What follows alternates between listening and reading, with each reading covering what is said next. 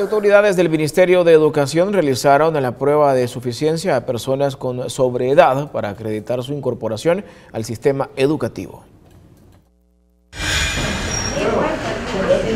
Más de un centenar de salvadoreños se sometió a la primera evaluación de suficiencia realizada por el Ministerio de Educación, una opción que se le da a las personas que tienen sobreedad y que por diversas razones no pudieron seguir cursando sus estudios desde primer grado de educación básica hasta segundo año de bachillerato general.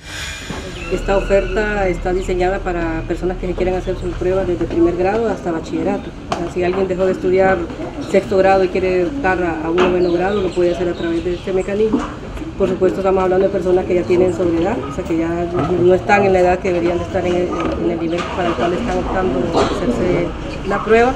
En la prueba se examinaron conocimientos en las asignaturas de matemática, lenguaje y literatura, ciencias naturales y estudios sociales. Para este año se proyectan evaluar a unos 3.500 estudiantes con cuatro pruebas mensuales. El beneficio es importante, afirman los participantes que me animaron fueron mis hijos de ver cómo estudiaban ellos y yo me metía al estudio con ellos, ¿verdad? Y ahí me explicaban y yo, hasta donde yo sabía, yo les enseñaba también. Entonces yo no quería quedarme así, por eso fue que yo agarré nuevos ánimos y mi hija que me dieron esos ánimos también, que no me podía quedar así, que tenía todavía la oportunidad de poder seguir, ¿verdad?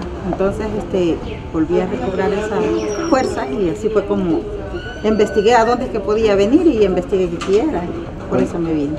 La nota mínima para aprobar en educación básica es de 5 en cada asignatura y 6 para bachillerato. Las personas interesadas en realizar la prueba de suficiencia deben llenar la solicitud de aplicación en las oficinas de la Dirección Nacional de Educación de Jóvenes y Adultos del MINED, presentar partida de nacimiento o DUI, fotografía tamaño cédula y la última certificación de notas aprobadas.